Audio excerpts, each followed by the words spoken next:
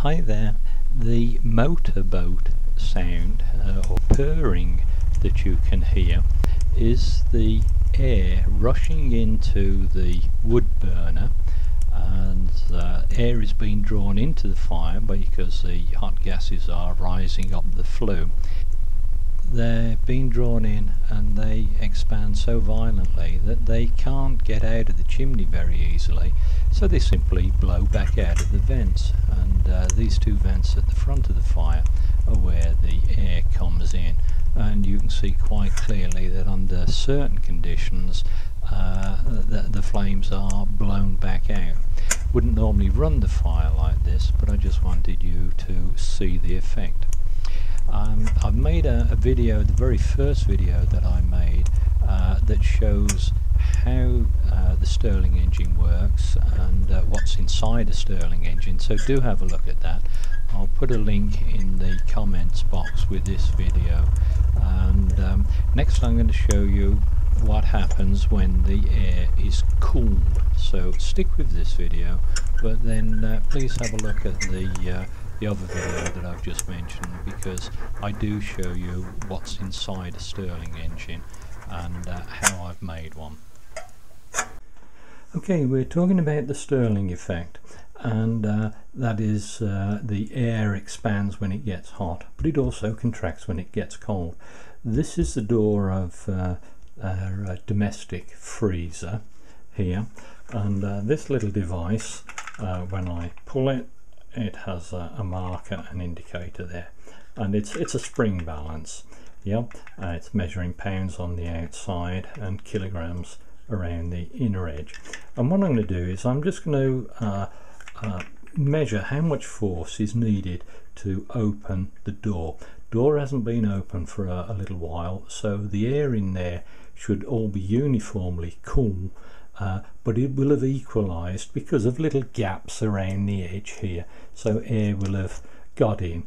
So the only force that I'm pulling with this will be the magnetic force of the, uh, the little magnetic seal.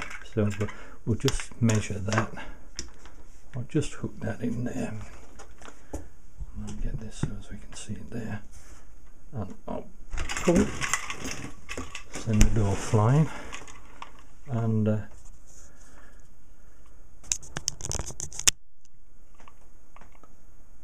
Okay, so that pull is uh, 11 pound. There, I'll just set that back to zero.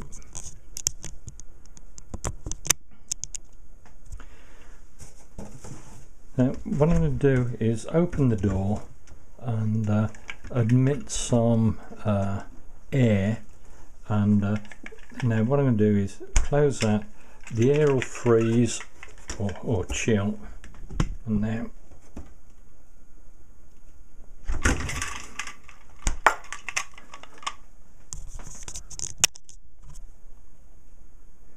there you go. I'm reading uh, 10 11 12 13 I'm reading nearly 14 pounds. So it was 10 pound before now it's 14 pounds.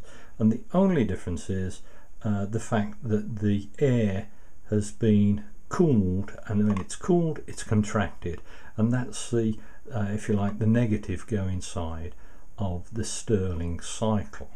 Um, so you've seen how the um, air expands in the fire and this is a good demonstration of uh, how it uh, contracts in uh, a cold condition.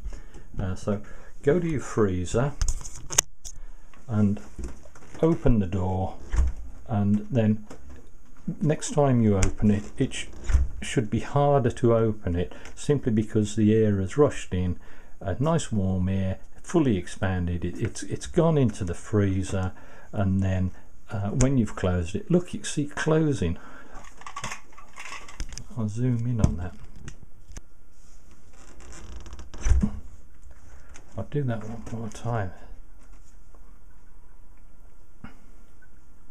So when I when I close the door you just watch the seal. I'll, I'll close it see the door is carrying on moving in. Hope you can get that on there.